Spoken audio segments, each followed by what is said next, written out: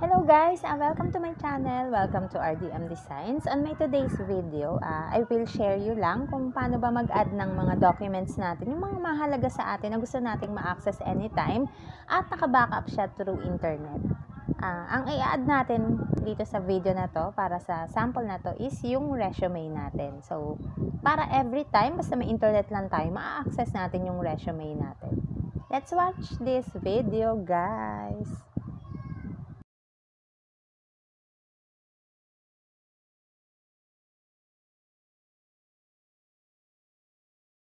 First step po natin is pumunta tayo sa My Files muna and i-check natin kung nandito ba yung file na i-add natin later sa ating Google Drive. So, ako kasi ito yung i-add ko. So, nandiyan siya. Yung aking uh, resume, yan po yung i-add ko. So, after that, pumunta na po tayo sa ating Drive or Google Drive.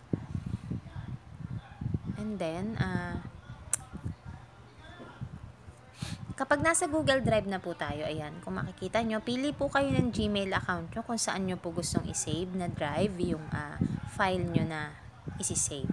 So, ako po dito ko siya ito try isave sa account ko na to. And then, i-click po natin tong plus sign na to. Plus sign. Once nandito na tayo sa Google Drive natin, i-click lang natin tong plus sign. And then, try natin to dito sa upload kung ito ba yung kailangan natin para gumana to. And then, hanapin natin kung nasan yung file natin. Nasa SD card ba siya. Hanapin natin yung folder natin kung saan natin sinave yung file na yon. Uh, resume yun eh. So, resume. So, bakit hindi siya nakikita dito? Sorry, baka nandito siya sa kabila. So, wala rin siya rito. Oops, oops, oops, oops.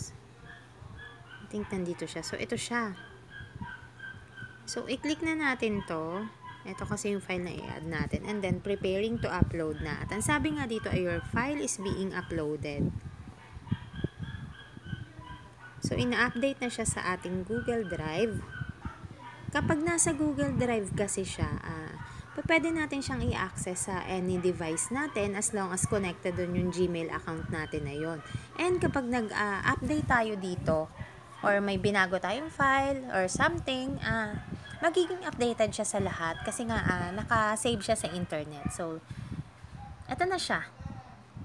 Ayan na yung ating uh, curriculum vitae or resume. Nandiyan na siya sa ating Google Drive. Uh, pwede na natin siyang ma-access anytime. So, ganyan po mag-add ng uh, Google Drive, ng file, sorry, sa Google Drive. Ayan. Uh, kung mayroon kayong katanungan, guys, uh, just comment down below. So, advisable po ito sa mga medyo techy ng konti or kahit sa hindi techy kasi madali lang naman po siyang gawin. Ang kailangan lang po ay Gmail account para maka-access tayo dito sa Google Drive na ito at yung ating yung file na gusto nating uh, laging updated. Ayan. Salamat sa panonood and mag-comment lang po kayo kung may katanungan kayo. Thank you for watching!